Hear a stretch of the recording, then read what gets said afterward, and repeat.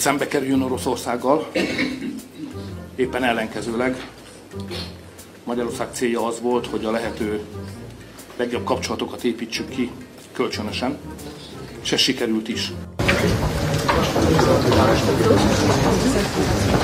Hungarian people decided they don't want my so they don't want to play by the rules of the progressives.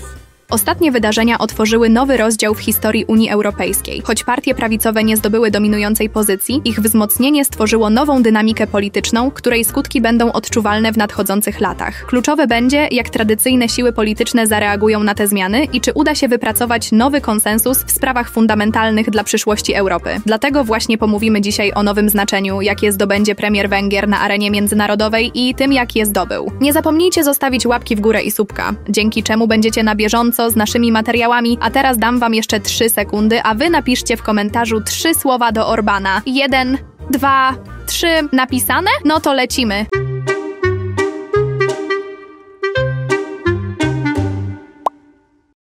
Wybory do Parlamentu Europejskiego w roku przyniosły znaczący przełom na europejskiej scenie politycznej, skutkując wyraźnym wzrostem poparcia dla partii prawicowych i skrajnie prawicowych. Zmiana ta doprowadziła do istotnych przeobrażeń w układzie sił w parlamencie, szczególnie widocznych w kluczowych krajach Unii Europejskiej. We Francji Zgromadzenie Narodowe Marine Le Pen uzyskało imponujące ponad 31% głosów, co doprowadziło do rozpisania przedterminowych wyborów parlamentarnych przez prezydenta Emmanuela Macrona. W Niemczech alternatywa dla Niemiec uplasowała się na drugim miejscu, demonstrując rosnące poparcie dla prawicowych idei w sercu Europy. Podobne tendencje zaobserwowano we Włoszech i Austrii, gdzie partie prawicowe odniosły znaczące zwycięstwa. To, co ma teraz miejsce, jest efektem ruchu, który od dawna był powstrzymywany i uciszany. Nie chcieli słuchać społeczeństwa i ponoszą za to konsekwencje. They don't want to play by the rules of the progressives. They rejected the false claim that my cannot be stopped and forced us leaders to act. And we stopped you actually build that wall. Hungarian state institutions are obliged to protect the Christian culture of Hungary. Hungary shall protect the institution of marriage as the union of one man and one woman. family ties family ties shall be based on marriage or the relationship between parents and children. To sum up, the mother is a woman, the father is a man, and leave our kids alone. Full stop, end of discussion. Nie chodzi jednak tylko o ideologię. Ona stała się faktycznie problemem, ale tylko z perspektywy czasu. Ludzie zaczęli zauważać, że tematami głośnymi i nośnymi zakrywa się prawdziwą politykę, że ciągle wprowadza się szkodliwe rozwiązania, które są znacznie bardziej złożone i mniej medialne niż kwestia tożsamości płciowej czy ekologii. To stało się już nie tylko nudne, ale i niebezpieczne. W tym kontekście szczególną uwagę zwraca rola Węgier i ich premiera Viktora Orbana. Węgry, które od lat podążają własną konserwatywną ścieżką, stały się swoistym symbolem trwałego prawicowego kursu w Europie. Objęcie przez Orbana prezydencji w Radzie Unii Europejskiej, mimo że jest to stanowisko rotacyjne i z ograniczonymi uprawnieniami, stało się znaczącym wydarzeniem politycznym. Orban zaskoczył opinię publiczną, odwiedzając Ukrainę, co było gestem pokazującym jego gotowość do aktywnego działania na arenie międzynarodowej. Chyba nawet dla samego Zełęńskiego było to niemałym szokiem, bo na zadowolonego z wizyty nie wyglądał.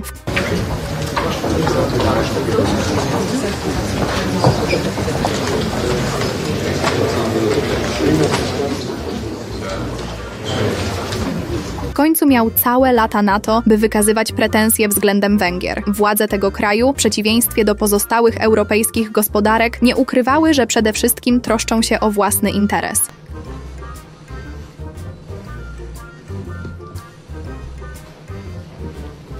Magyarország sosem volt célja, hogy szembe kerüljön Oroszországgal, éppen ellenkezőleg Magyarország célja az volt, hogy a lehető legjobb kapcsolatokat építsük ki kölcsönösen, és ez sikerült is. Azonban a vagy szankciók miatt ez a kapcsolatrendszer ez súlyos veszteségeket szenvedett el. Nagyon mélyen belevágott a közös munkánkkal fölépített jó együttműködés szövetébe. Paradoks i groteskowość tej sytuacji i potrzeby tłumaczenia się z podejmowanych decyzji wynika przede wszystkim stąd, że prawie cała wspólnota robiła to samo, co robił Orban. Utrzymywała relacje z Rosją, wiedząc, że Moskwa stanowi dla nas zagrożenie. Ba, do dzisiaj wiele z nich współpracuje w ten czy inny sposób ze wschodnim mocarstwem. Każdy kraj powinien być przede wszystkim po swojej własnej stronie, ale to Węgrom obrywało się za to, co robili w zasadzie wszyscy. Zmiany w Unii otwierają nowe perspektywy dla polityki europejskiej. Możliwe są przeobrażenia w podejściu do kluczowych kwestii, takich jak imigracja czy polityka gospodarcza. Nowa dynamika polityczna może prowadzić do tworzenia nietypowych sojuszy i koalicji na poziomie europejskim, co z kolei może wpłynąć na kierunek integracji europejskiej. Jednocześnie wzrost znaczenia prawicy może prowadzić do zwiększenia napięć między tradycyjnymi siłami politycznymi a nowymi ugrupowaniami, kwestionującymi dotychczasowy kurs Unii Europejskiej. Co by jednak nie miało się wydarzyć, to właśnie teraz otwierają się nowe furtki dla tych, którzy będą dążyli do tego, by coś w tym systemie zmienić. Powstaje szansa na dyskusje, negocjacje i nowe sojusze. Politikai változás Európában megkezdődött. Az európai emberek három dolgot akarnak. Békét, rendet és fejlődést. És amit a mostani brüsszeli elittől kapnak, és a stagnálás. Ebben a helyzetben eh, nekünk az a kötelességünk, hogy érvényt szerezzünk a választópolgárok akaratának. Három politikai párt ül most önök előtt, a legerősebb osztrák párt, a legerősebb cseh párt és a legerősebb magyar párt. És vállaljuk azt a felelősséget, hogy elindítjuk ezt az új platformot és új frakciót. Szeretném világosá tenni, hogy az a célunk, és hiszünk abban, így is lesz, hogy ez hamarosan az európai politika legerősebb jobboldali tömörülése lesz.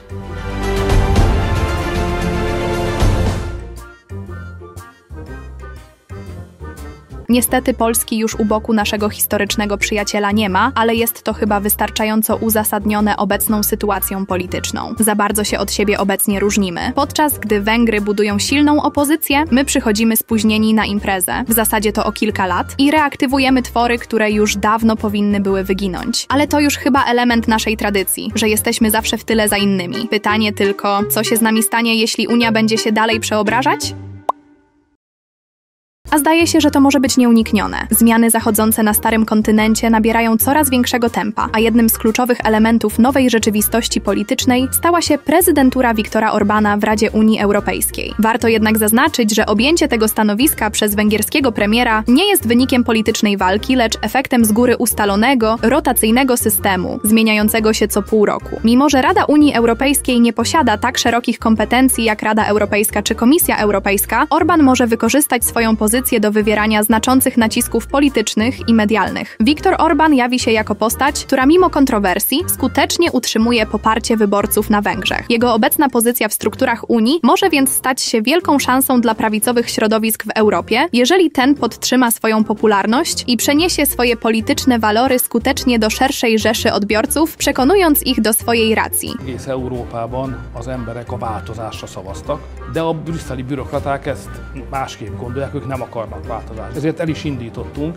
egy új európai képviselőcsoportot, ami hihetetlen tempóban nő, nagyon gyorsan mi leszünk a harmadik, aztán meg majd a második legnagyobb csoport itt képviselőcsoport Brüsszelben, aminek egész egyszerűen az az oka, hogy az elégedetlenséget nem tudta befogadni Brüsszel, nem alkalmazkodott hozzá, nem hallgatott az emberekre, hanem visszautasította az emberek döntését, kötöttek egy hatalmi paktumot, aminek csak az a célja, hogy még öt évig ők uralják itt Brüsszelben a politikai pozíciókat. De ez nem fog menni, az emberekkel szemben nem lehet kormányozni. Ez bennünket, akik változást akarnak, még inkább megerősít, fölemel, megnöveli az erőnket, és ezt a változást mi itt el fogjuk érni. Zdaje się, że zmierza z narracją we właściwym kierunku. Mimo formalnie ograniczonych możliwości, Orban zyskał cenną platformę do prezentowania swoich poglądów i wpływania na europejską opinię publiczną. Jeśli skutecznie wykorzysta tę okazję, może przyczynić się do istotnych zmian w percepcji prawicowej polityki w Europie. Jego działania w najbliższych miesiącach mogą mieć kluczowe znaczenie dla przyszłości kontynentu. Jeśli zdoła przekonująco zaprezentować alternatywną wizję Europy, może to wpłynąć na zmianę nastrojów społecznych i politycznych w wielu krajach członkowskich.